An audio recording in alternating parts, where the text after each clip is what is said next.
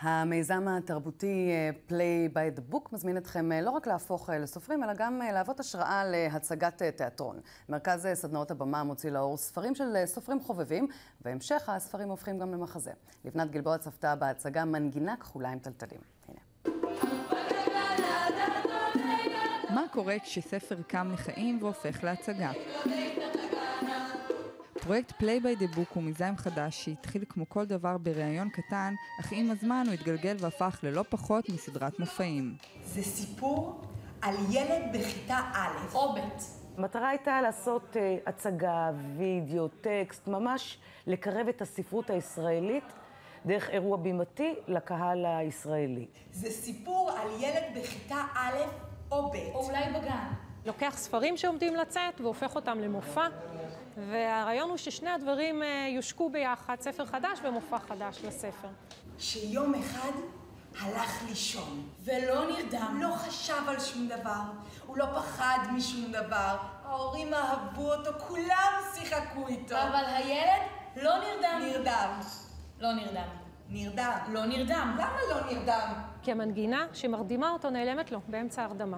זה אומר שהשחקנית הראשית בהצגה הזאת היא מנגינה. אולי במקרה ראית פה מנגינה של ילדים? מה? מנגינה כחולה עם טלטלים. מי? מנגינה שלי נעלמה. הסדרה נפתחת בספר מחזה בשם מנגינה כחולה עם טלטלים, הצגה שכולה פשטות מהסוג שאולי כבר שכחנו. כמו שזה נראה, אה, ככה זה גם אה, היה תהליך העבודה. אה, אני באמת מקפידה לעשות דברים שכיף לי לעשות אותם. יש פה חברים טובים שלי ושחקנים מופלאים שבאו לתהליך ארוך מאוד, עבדנו חצי שנה בשביל מה שנקרא נהנינו קשה. אני משתדל לפעמים לא לכתוב על כלי, על כלים שאני מנגן, אלא לכתוב בהליכה או בנסיעה, כדי שזה יהיה איזשהו משהו שאני אהיה בטוח שאפשר לזמזם אותו אחר כך. אז מצאתי כאילו קווים כאלה, התחלות כאלה, ואז באמת בעבודה עם השחקנים ועם ירדן הרחבנו את זה.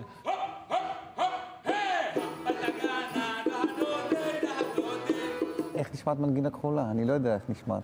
לא יודעת. או איך נשמעת מנגינה אדומה. הפתיע אותי לגמרי המוזיקה. כבר בחזרה הראשונה כשדידי הביאה את המוזיקה של המנגינה הכחולה, זה היה ממש מרגש. אז אם שכחתם איזה טיוטה שכתבתם למגירה, אולי תביאו אותה למרכז לאומנויות הבמה, לכו תדעו, בסוף עוד אולי תצא הצגה.